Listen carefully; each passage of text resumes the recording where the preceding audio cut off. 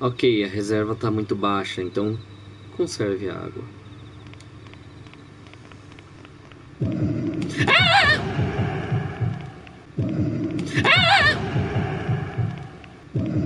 Ah! Ah!